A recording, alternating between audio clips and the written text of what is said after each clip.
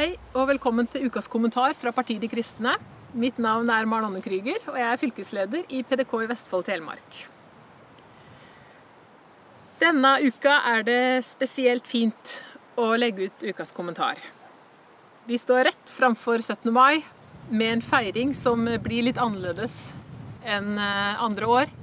Men eh, vi er samtidig stolte av en nasjon hvor vi står sammen for å begrense pandemien. Så jeg håper at eh, alle tar hensyn til restriksjonene når vi går inn i feiringa. Vi skal likevel feire. Virkelig feire Grunnloven og hva den har gitt oss. Så er det sånn at Grunnloven er under sterkt press, og det skal vi også være klar over når vi feirer. Vi må se til at ikke vi spiser oss sløve og daffe på is og pølser, men at vi koser oss med is og pølser, og ta vare på energien vi får av det, til å gå inn i kampen for å bevare Grunnlovens verdier. Denne uka så vi SV og Venstre foreslå å fjerne Gud fra Grunnloven og, og degradere kristendommens plass. Heldigvis blei de nedstemt, men vi ser altså en grunnlov som er under sterkt press og som allerede er eh, degradert i forhold til de verdiene vi ønsker å sette høyt.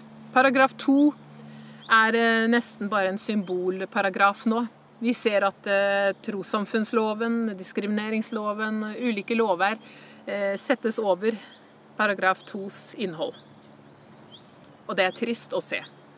Og det krever en kamp. Så er vi for å bygge en sterk nasjonalstat. Det er verdt å tenke på nå når vi går inn i nasjonaldagsfeiringa. Vi, vi, jeg får ofte høre, vi har særlig fått høre det nå i det siste, at det er det forenlig å jobbe for en sterk nasjonalstat med de kristne grunnverdiene som PDK står for og er bygd på, med tanke på nestekjærlighet og omsorg for andre. Hvorfor skal vi absolutt jobbe opp Norge til å bli en sterk nasjon? Og, og, og, det er fint at noen spør, for da kan man svare. Og jeg må si at eh, de to faktorene henger svært tett sammen. En sterk og trygg og god nasjonalstat med de kristne kjerneverdiene som bl.a. nestekjærlighet. Jeg skal forklare hvorfor. En stabil nasjon, en trygg nasjon, en god nasjon som sørger for egne innbyggere den er i stand til å bidra med hjelp til andre nasjoner når de trenger det. Og da er vår oppgave ikke å jobbe for å svekke andre nasjoner, men også bygge opp og støtte andre nasjoner i å bli sterke og bærekraftige og selvstendige. For å sørge eh, for deres egne innbyggere. Det skal vi ha klart for oss når vi gir ut bistandsmidler, og det ser vi i dag, at vi gir ut milliarder som ikke kommer til den nytten vi ønsker. Vi gjør andre nasjoner avhengig av oss, i stedet for å få dem til å bygge opp sin egen selvstendighet og bærekraftighet. Så i aller høyeste grad trengs det i verdenssammenhengen sterke nasjoner. Stødige, stabile og trygge, som tar ansvar for egen befolkning, og på den måten er i stand til også å kunne hjelpe andre. Vi må bygge nasjonen vår sterk. Eh, gjennom at vi må eh, ha et forsvar som faktisk kan forsvare egne innbyggere. I dag så ligger vi svært sårbare til i åpent farvann. Og vi ønsker gode samarbeidsavtaler og et godt klima med andre nasjoner. Men vi kan ikke være blåøyde og tro at eh, andre verdensledere innehar de samme verdiene som det vårt land er tufta på. Jeg nevner Nord-Korea. Jeg nevner Kina, Tyrkia, Iran.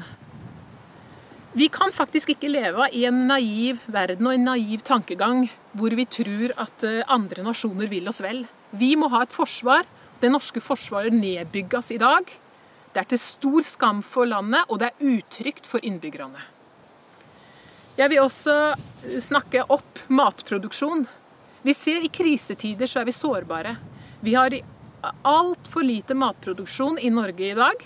Og vi er i aller største grad avhengig av import fra andre land. Det er farlig for befolkninga, særlig i krisetider. Vi må, vi må ha et kornlager både med såkorn og matkorn. Og så vil vi jobbe opp eh, politikere som, eh, som kan eh, forsvare sine egne innbyggere. Jeg har nevnt det tidligere. Som ser de norske interessene som større enn internasjonale avtalers interesser.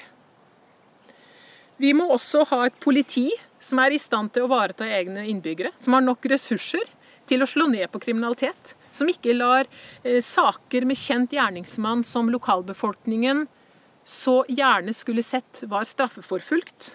Den type saker ser man igjen og igjen blir henlagt eh, med mangel på ressurser. Vi må, vi må ikke svekke politiet i den, eh, i den situasjonen vi står i i Norge.